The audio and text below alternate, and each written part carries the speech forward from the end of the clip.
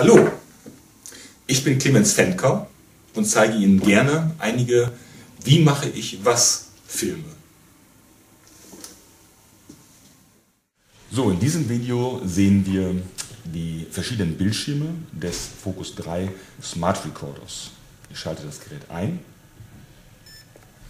und sehe den ersten Bildschirm.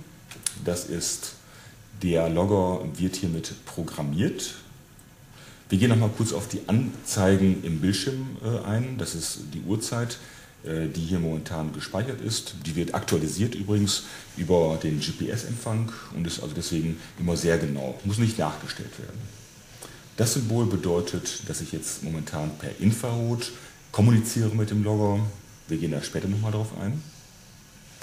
Das ist das Symbol für den GPS-Empfang. Wenn es blinkend ist, ist es äh, noch nicht äh, komplett fertig. Das heißt also, er muss sich noch auf den GPS-Empfang einstellen. Das ist das Symbol für den Ladezustand des Smart Recorders. So, dann gehen wir auf die zweite Seite. Der Pfeil geht aus dem Logger heraus, das Auslesen des Datenloggers. 3 ist der Modus, mit dem ich einen Logger vor Ort auslesen kann. Das kann ich per Infrarot und auch per Funk machen. Der vierte Bildschirm ist der Vorbeifahrmodus.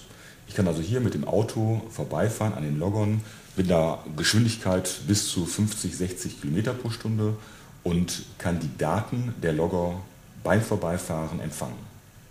Dazu muss ich dann diese Stummelantenne gegen eine Fahrzeugantenne austauschen. Die wird also per Magnet auf das Fahrzeugdach geklemmt und hat dadurch einen wesentlich besseren Empfang.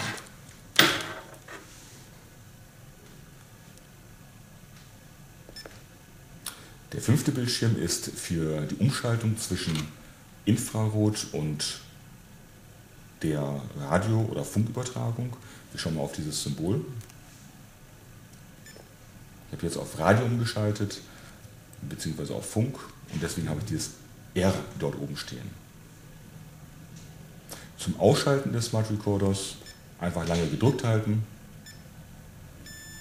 und ausgeschaltet.